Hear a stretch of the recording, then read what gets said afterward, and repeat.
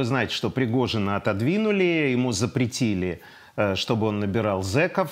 Э, ну и теперь, так сказать, а перед этим ему сказали «пожалуйста», и он практически сжег всех своих зеков и такую, знаете, боевую часть своего ЧВК. Ну и теперь он, так сказать, кукует в стороне. Но не просто. Он очень аккуратно, не называя Путина, а, так сказать, имея в виду что-то вокруг него, говорит о том, что э, пресловутый Бахмут никак не могут взять и не возьмут. И он несколько раз выступал. Вот свежее. Движение идет не так быстро, как хотелось бы. Почему продвижение быстро не идет? Я думаю, что до Нового года уже взяли бы Бахмут, если бы не чудовищная наша военная бюрократия, скажем так, и не палки в колеса, которые суются ежедневно. А, сегодня у нас есть определенное количество структурных изменений. Ну, вы все слышали о том, что прекращен прием заключенных в наши ряды, которые до этого выполняли героические задачи, и сейчас продолжают выполнять те, кто с нами остался, те, кто еще не получил помилования. Далее, через какое-то время они будут получать его помилование, уходить от нас. Безусловно, в какой-то момент времени количество подразделений уменьшится, объем задач соответствующим образом мы тоже не сможем выполнять тот, который хотелось бы. Поэтому сегодня, пока мы берем Бахмут, Конечно же, должны быть успехи на всех остальных участках фронта. Мы должны двигаться на Угледаре, на Марьинке, на Авдеевке, на Сватово-Кременной и так далее. Бюрократия, к сожалению, не позволяет через наши боевые порядки, пока, к сожалению, активности не проявляют другие подразделения, которые должны этим заниматься. Если сегодня было бы три 5 ЧВК «Вагнер» на разных направлениях, я думаю, что мы бы уже в Днепре носки полоскали.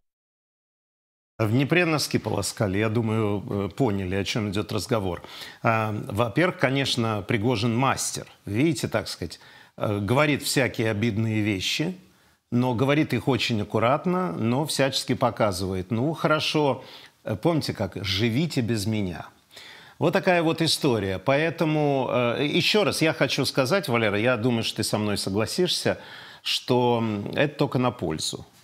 Э, это только на пользу. Вот эта аппаратная игра, вот это вот все, это совершенно замечательная история, потому что эти хоть, ну, можно смело сказать, воевать умели и отчаянными были, ну хоть, хотя бы для того, чтобы вот они им там э, снимут с них срок и так далее. А сейчас все это ввели вот так, вот регулярная армия, ну вот что могут, то могут. Поэтому он может обиженный стоять в углу. Я думаю так. Как там, э, какой, какой светильник разума у вас, какое сердце биться перестало? Да. А, Чуть-чуть, или... если можно, э, подними, пожалуйста, себя по кадру. Э, чуть-чуть, чтобы ты как-то сравнялся. О, боже, как замечательно. Ну, хотя бы так. Да. А, хотя а, бы. Хотя бы, да. Да-да. Э, как там, плохому танцору тоже что-то всегда мешает. Э, тут я не знаю, насколько он нарвал, насколько он нарвался такого рода цитат. Ну, про носки в Днепре это аллюзия, очевидно, про сапоги в Индийском океане. Но тот, который об этом писал, это был Федор Тючев. И тот, которому он советовал, Николай I, э, плохо кончили. Особенно Николай I, который сначала думал, что он возьмет Константинополь э, а, и э, будет диктовать условия, как и, кстати, сегодняшний их там фюрер. Вот. А кончил тем, что принял яду от, из рук немецкого лекаря.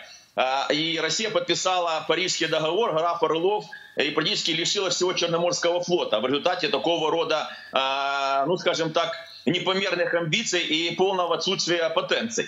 Что касается Пригожина, ну, очевидно, знаете, с ним, э, с ним э, сыграла э, злую шутку две вещи. Во-первых, абсолютная уверенность россиян, что они всегда выигрывали. А, абсолютно уверены, что они всегда выигрывали вот и числом, и умением. А, вот эти, помните, штрафные батальоны, загранотряды, э, фраза э, маршала Катафалка Жукова, которую он сказал Эйзенхауэру, который тот спросил, каким образом вы преодолели эшелонированную оборону, он сказал, ну, танками. Он сказал, я впереди пустил пехоту. Он не сказал, что он пустил пехоту штрафбаты. То, то, то есть, фактически, когда Пригожин хотел конвертировать недовольство отсутствием успеха у российской армии. А, но э, вот это ура-патриотизм и э, стремление очень многих россиян как можно больше убивать украинцев. Помните, уничтожать центры э, принятия решений, многие там эти все митинги там с ракетами «Сармат», ну всю эту паранойю, то он пытался конвертировать это в свою, э, в свою поддержку. Э, набрал зэков, источил их сначала в Солидаре, а потом из, из Бахмута. Ну а то, что э, Э, победа, э, у победы много отцов, поражения всегда сирота. Ну, когда он их сточил,